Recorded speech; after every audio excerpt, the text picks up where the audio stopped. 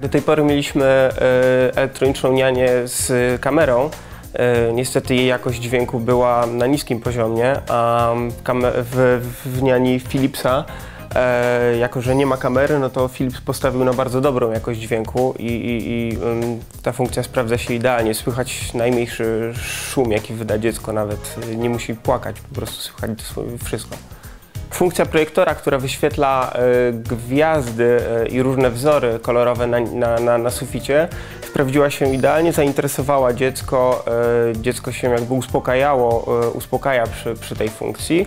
A dodatkowo muzykę, którą, którą puszcza mm, elektroniczna niania Philipsa, włączyliśmy do, do rytuału sypiania e, i sprawdziło się to idealnie.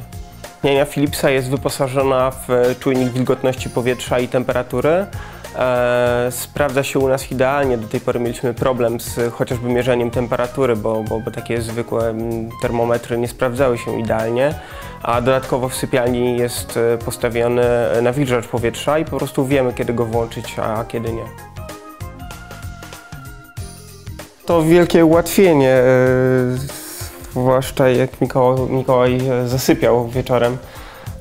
Nie musieliśmy tak często chodzić i sprawdzać, e, co, co, co u niego słychać, co się z nim dzieje. E, Po prostu wszystko słyszeliśmy na, na, na, na cyfrowej niani.